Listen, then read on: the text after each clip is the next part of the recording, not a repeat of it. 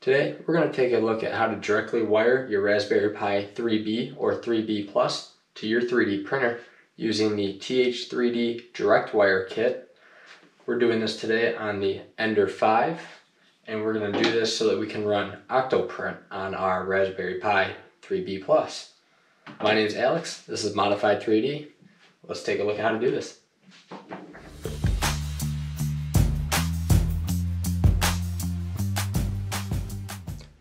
All right, so starting off with what you're gonna need for the install, you're gonna want some wire snips, uh, some wire strippers. You may or may not need Allen keys depending on where you mount your uh, direct wire module. You're gonna need the direct wire module itself from TH3D. And this is the mount that is on their uh, page. You can also find it on Thingiverse. There's also plenty of other mount options too if you don't like this one. Uh, this is the lid for the mount. TH3D supplies wiring, uh, however I'm going to opt to use my own. This is 18 gauge copper wire. Uh, this is extra from the heater, uh, so I know it's good quality wire. You're obviously going to need a Raspberry Pi 3B or 3B Plus. This will not work with the Raspberry Pi 4. Um, I do believe it works for the Raspberry Pi 2 and 0, but it's not recommended to run those uh, for performance reasons.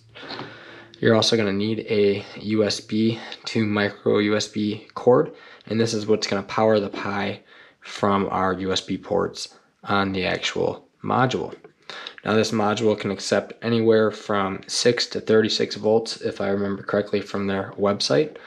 Our Ender 5 is a 24 volt uh, system. However, I also have this buck converter here that drops the voltage down to 12 volts to run the LEDs.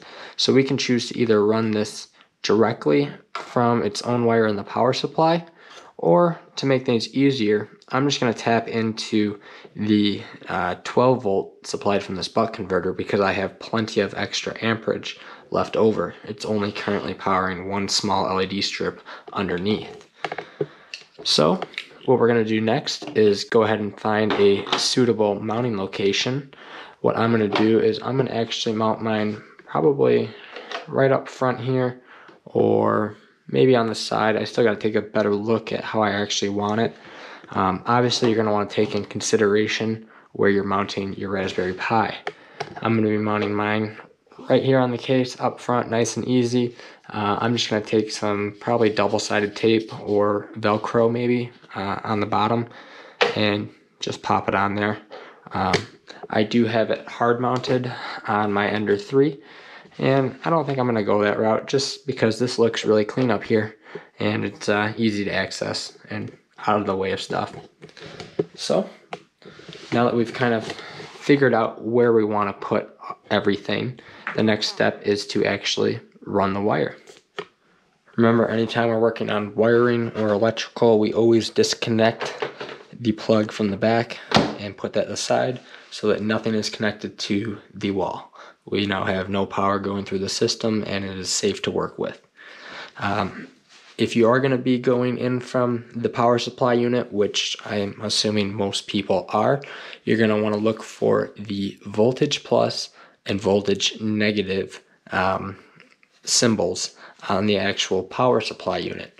You don't want to go into the L, the N, or the ground symbol because those are going in for uh, higher current main wiring. This is going to be the same stuff that you tap into for an easy ABL module or any other little accessories. Um, to access that, there's just four screws on the bottom of the actual printer. However, like I said before, I'm just going to be tapping into my buck converter. So I'm going to show you guys how to do it this way. So this case is super convenient and it has the cutouts already in place for accessing the wiring we just got to remember that our negative wire is going on bottom and our positive wire is going on the top.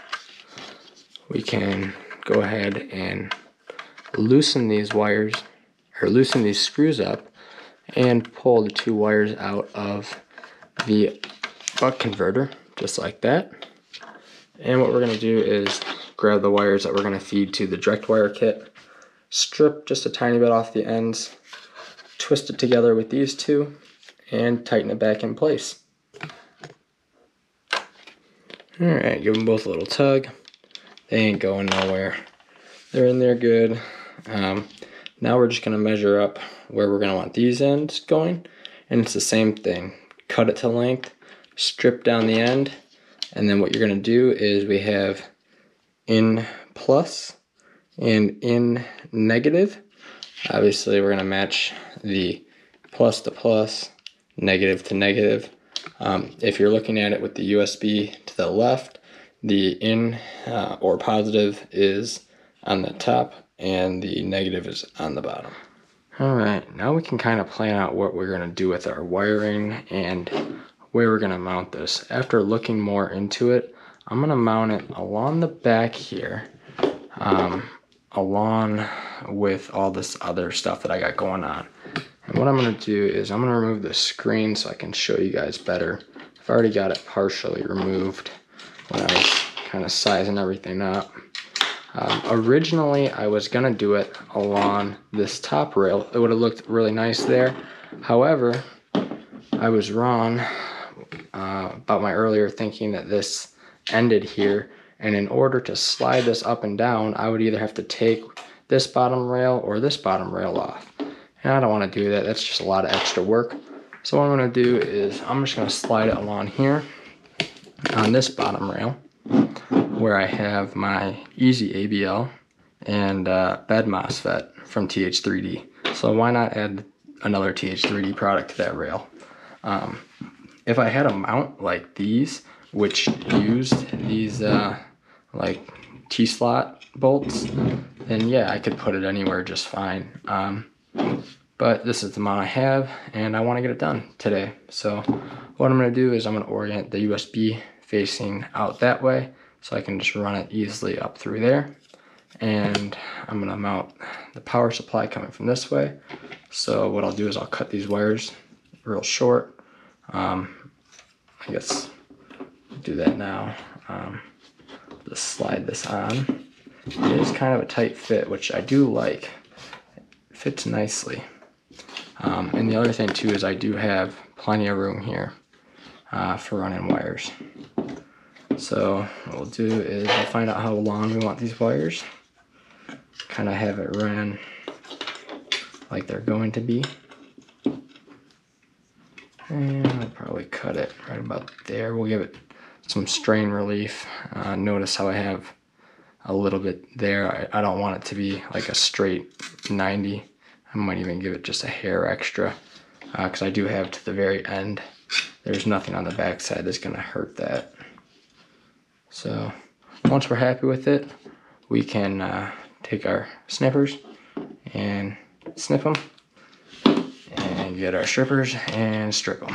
Step we're gonna do is take our screwdriver, go ahead and loosen up these two bolts.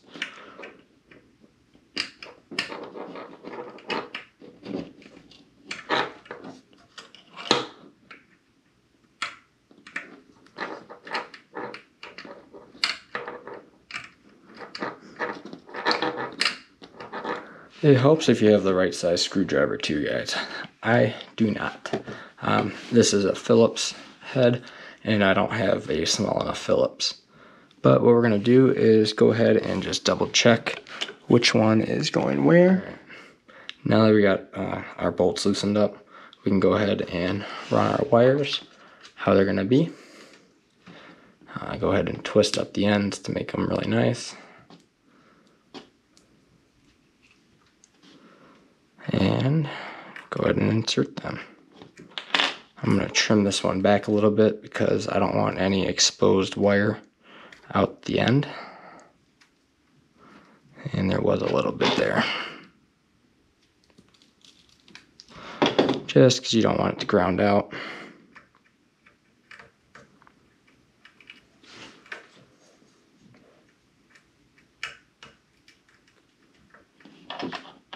This wire is just slightly too big.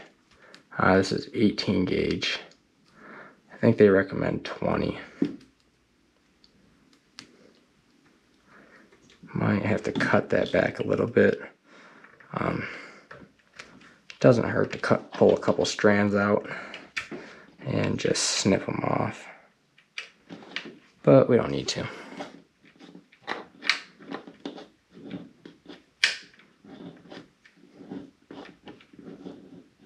And just snug uh, a little bit more.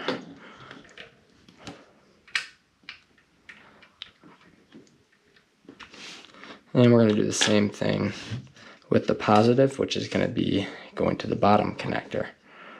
And just run that underneath. Now this is a slightly smaller wire. I do want to trim it back just the same. Uh, this I do believe is 20 gauge. At least it fits a lot better going into the block.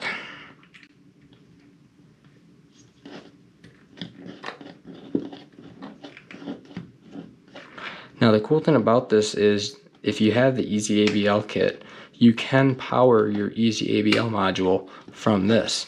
So if I had a small little tiny jumper going from one of these USBs to here and a USB up to the Pi, I could do that. Uh, however, there is no need to because I have the wire that they included in the kit. Now that we got those secure, we can just kind of uh, clean them up a little bit. I have that kind of strain relief there and we can put our cap on. And this was a really tight fit when I tried it out earlier. So I hope I don't break it. I was really worried taking it apart, but I really wanted to film this for you guys. There it goes. So that fit really nicely. Um, we can see it matches the honeycomb design that they use on their bed box or their bed MOSFET box. And we printed this using black cherry PLA from Paramount 3D. So this is what it looks like for now. We have the 3B Plus just sitting freely here. I'm gonna go run to the hardware store tomorrow. It's uh, midnight right now, so they're not open.